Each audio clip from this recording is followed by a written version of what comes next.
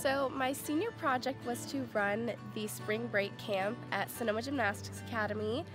I love working at Sonoma Gymnastics Academy and so I couldn't think of anything better than to run my camp there and I figured if I was already going to be at Sonoma Gymnastics Academy why not do a super fun camp there and run it myself. Basically what we did every day is they would get in, we would do about an hour of free time which they loved and then we would do our adventure walk and then we would come back in, we'd eat our snacks, and then we would go right into our circuits, whether it was bars, vault, beam, floor, or tumble track. We'd eat lunch, and after lunch, we would go in and we'd practice the dance that was going to be performed at the show. Most successful, I think, was definitely how they did on beam. A lot of the kiddos have never been on beam before and they all learned new things. I taught them a beam routine. It was short, but it was it was full of new skills which they'd never worked before and they all got that down really nicely. Um, a lot of them didn't even know how to stand up or how to walk on a beam and at the end of the week they were all dancing on it. I think the most valuable experience for the kids was just them performing. A lot of them had never performed in a show before or never had been exposed to something like this. Under the sea is better than anything they got up there.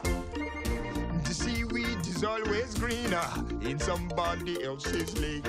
You dream about going up there, but that is a big mistake.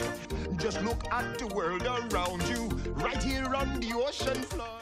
And I could see a lot of them were kind of scared at the idea of having to perform, but in the long run they understood that it was just their parents, and either way they were there just to see how great they were doing, and didn't matter if they had a perfect forward roll or if it needed some work. They were just there to support their kids. I think I was very successful in my senior project. Um, I just at the end of the week I knew that I felt like I had a wonderful senior project. I saw all the parents' faces light up as they saw their child performing and that just brought joy to my heart because I knew that me and as well as the other staffers were the reason that they looked so great out there.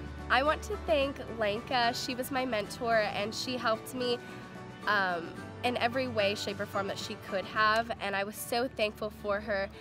Um, she choreographed, her and I choreographed the dance, and she just helped my dream of having an Under the Sea camp come to life.